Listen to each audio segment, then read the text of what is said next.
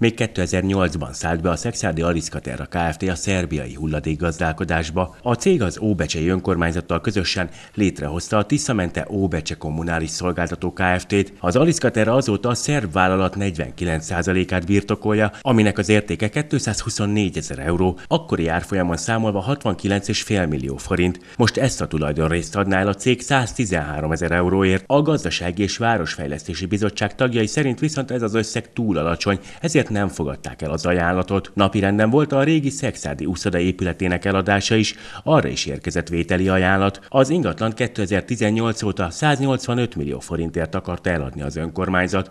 Az újonnan felálló képviselőtestületi többségnek viszont tervei vannak az egykori úszodával, rekreációs központot akarnak kialakítani ott, ezért a bizottság tagjai nem fogadták el az ajánlatot. Az önkormányzati tulajdonú intézmények takarításával kapcsolatban is döntés született. Az épületeket egy budapesti cég takarítja, aminek a szerződése december végén járt le. A cég továbbra is vállalná az intézmények takarítását, de csak a korábbinál 5%-kal magasabb áron. A Gazdasági és Városfejlesztési Bizottság tagjai viszont nem akarnak többet fizetni, mert szerintük sok panasz érkezett az elvégzett munka minőségére, és a takarítást a korábbi áron is el lehet végezni. Ezért megbízták a város jegyzőjét, dolgozzon ki havária tervet, hogy mit lehet majd akkor tenni, ha a takarító cég nem vállalja a korábbi áron a munkát. Emellett pedig elkezdik felmérni, hogy a városi intézmények nem tudnák-e saját alkalmazottakkal megoldani a takarítást.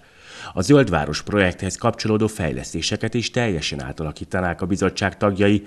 A korábban kiírt közbeszerzési eljárást ezért eredménytelennek akarják a közgyűléssel nyilvánítatni, majd az előző városvezetés által tervezett száz új belvárosi parkoló helyett emeletes parkolóházat akarnak építetni az egykori fűtőműhelyén.